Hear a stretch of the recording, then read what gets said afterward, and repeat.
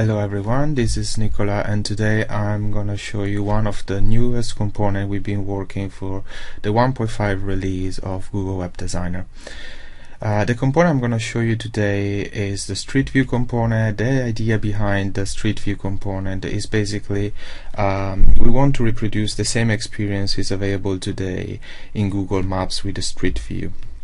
Uh, this is Street View in Google Maps is available at google.com uh, slash maps or googlemaps.com and as you can see you can uh, pan and zoom in in different area uh, all around the world. Uh, so what we're gonna do uh, in GWD is basically creating a new creative um, let's do a 600 by 300 just so we have uh, big size that can actually display an engaging uh, situation uh, street view as the name of our creative and here it is. So if we navigate to uh, the components panel as you can see we've been adding few components but let's focus on the street view one. Uh, let's just drag and drop it. If we go on the property panel uh, we can position this on the top left corner.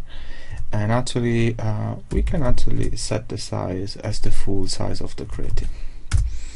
Uh, perfect other properties that are available is latitude and longitude. These two parameters are available uh, from the Google um, Maps website. As you can see if you have a look at the URL bar here there is the two parameters that we're looking for. The first one is the latitude. We're gonna copy and paste here in GWD and the second one is the longitude uh, be careful sometimes these values comes with the minus that can be negative as well.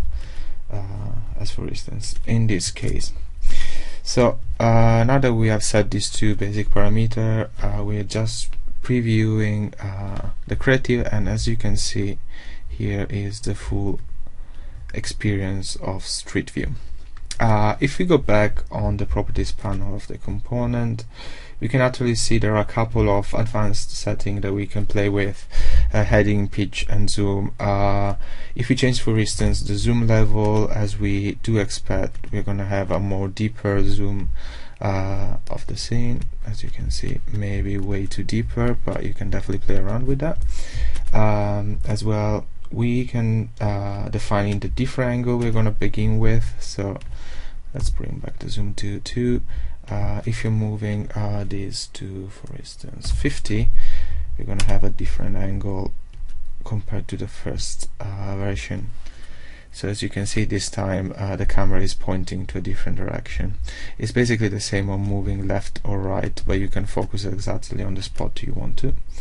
And the last one does allow to change the positioning of the pitch so what we're actually doing by setting this parameter is changing the viewpoint uh, and tilt it up or down so now I would expect the viewpoint is actually tilted up uh, that's basically it. It's really straightforward component, and we do expect to see these a lot, especially when it comes to uh, show specific location, uh, venues, as well as retail store.